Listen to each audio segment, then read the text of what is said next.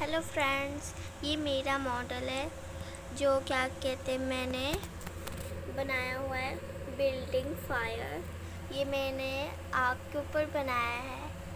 ये ट्री है और ये फायर है और ये बिल्डिंग है. प्लीज़ आप कमेंट सेक्शन में लिख के बताइएगा कि ये कैसा बना है, जो मैंने ये मॉडल बनाया है. ये देख लीजिए.